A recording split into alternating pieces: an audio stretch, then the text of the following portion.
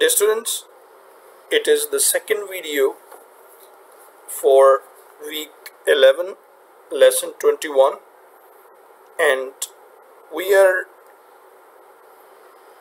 going to cover the other aspects of George William Frederick Hegel. In the first video, uh, we came to know about the biographical points or brief about the renowned German philosopher Frederick Hegel. In this video second, I will discuss Hegel's dialectics. This is called Hegelian dialectics. Fine. And basically, Hegel's theory of dialectic is a wonderful, innovative theory that explains that history is an evolutionary process. And perhaps it was the Frederick Hegel, the first philosophical thinker or political thinker who believed this that the life on the planet as well as the uh, intellectual and social development of the human beings was mostly uh, our evolutionary process. It is step by step process that slowly and steadily moved on. Uh, he has explained this theory by his own theory of dialectics. Fine. Hegel believed that idea and reason, there are two things. Remember the students, the philosophy is very tricky that uh, all the philosophers were in the debate whether this universe established first or it was an idea and then somebody established जिस तरीके से आप कोई चीज़ भी बनाते हैं کوئی کھانا بناتے ہیں تو آپ کے ذہن میں اس سے پہلے آئیڈیا ہوتا ہے کہ آج ہم نے چاول بنانے ہیں یا آپ نے کوئی تکہ بنانے ہیں یا کچھ بھی بنانے ہیں، تو آپ اس طریقے سے کوکنگ کریں گے، اس طریقے سے کوکنگ کریں گے later on you dish up that thing اب وہ یہی چیز وہ کہہ رہے ہیں کہ according to the Hegel idea and intellect اور reason they are not something to be learned to be extracted from the universe directly they have been bestowed by Allah subhanahu wa ta'ala. Clear? Second all the human development all the progress and prosperity development new laws constitutions clear? Scientific development all is the development in the vision and wisdom fine second میں یہ ہے کہ تمام دنیا کی جتنی اقوام ہیں، ٹھیک ہے، ان کے ہاں جو فنون ہیں، ادب ہے، سائنس ہے، صنعت و حرفت، جو کچھ بھی نظر آتا ہے، وہ انہوں نے ایک ارتقائی عمل سے حاصل کیا ہے۔ یعنی آہستہ آہستہ انہوں نے کسی اور قوم سے، کسی اور کلچر سے اس چیز کو مستار لیا اور پھر خود اس کو بڑھوتری دی، اس کو سمجھا۔ Clear this is the theory of the evolution let's take an example American civilisation اس کو اگر آپ دیکھیں، تو they were were basically the red Indians were the native people European explorers and adventurers went over there and they started the life from the scratch. And with evolutionary process governments changed different theories laws schools were and universities were established and this is how a new life in america emerged.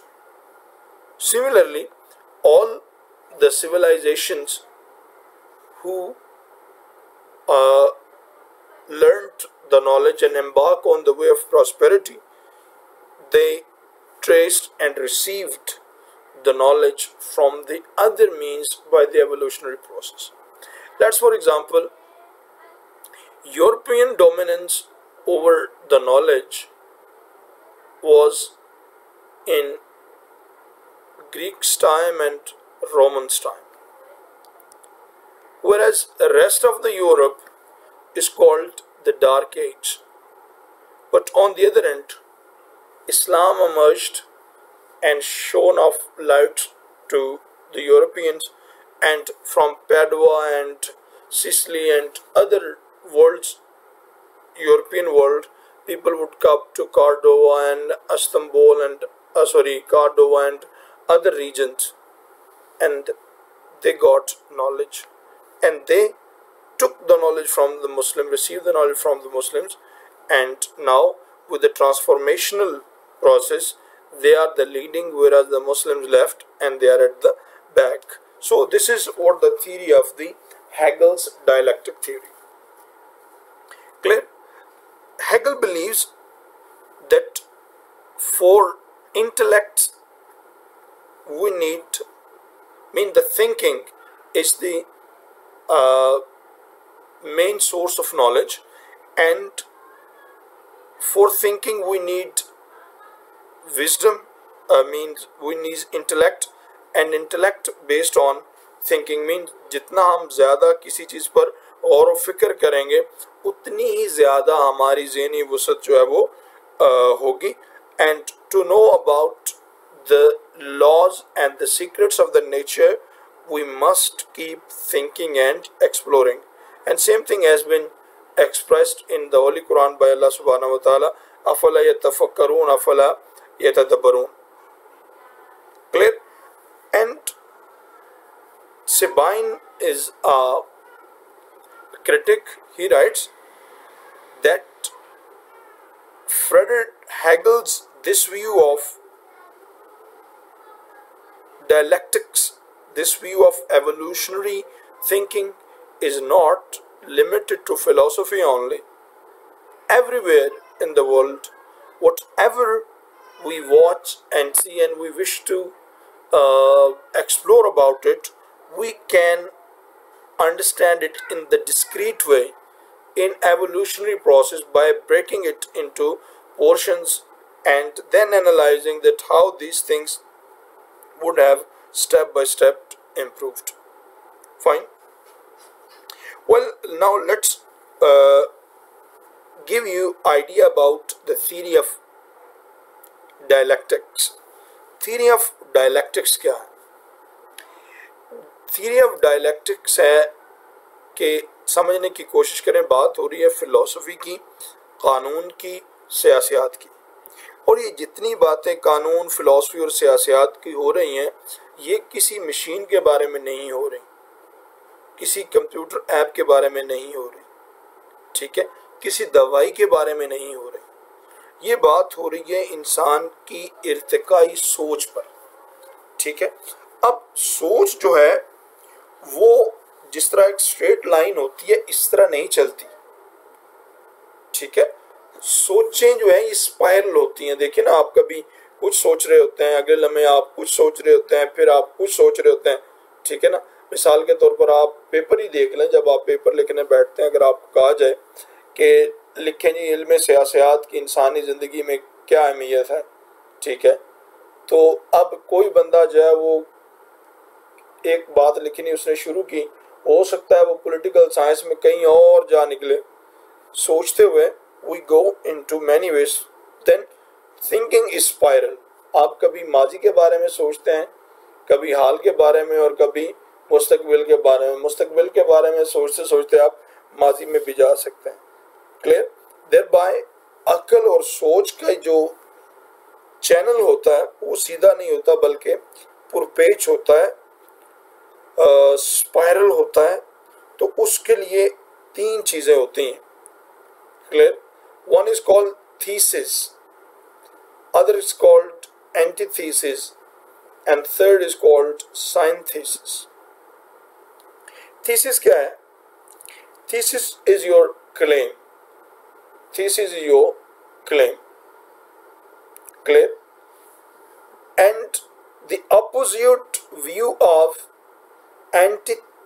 antithesis is called antithesis clear اور جب مل جائیں، تو دین ازلے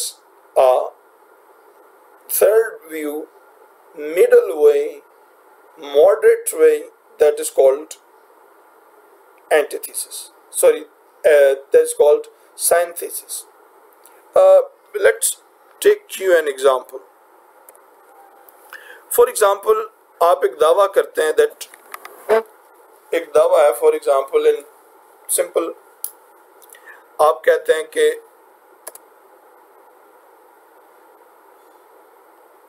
political parties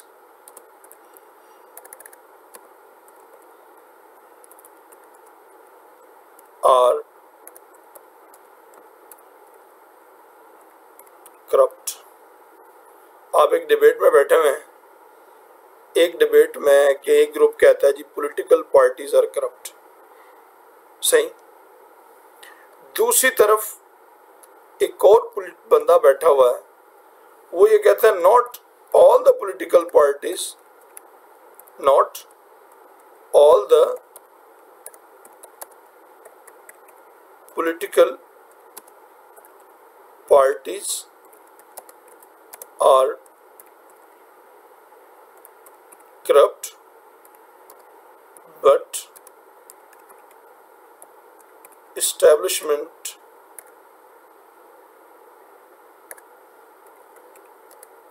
is also involved.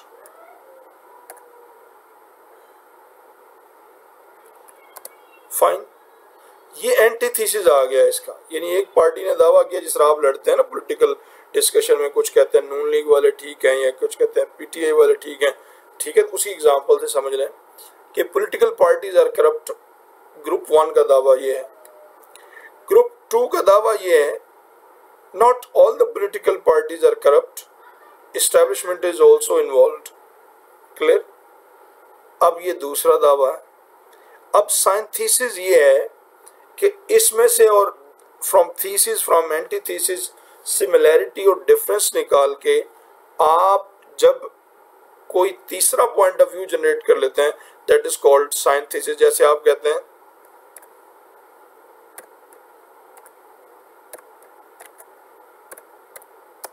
some of the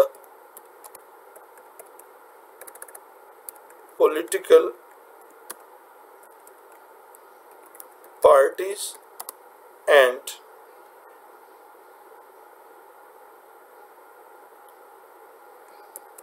certain groups in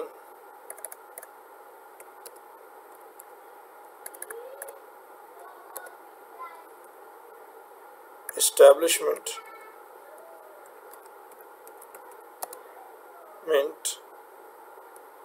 are corrupt and they make a coalition. Thus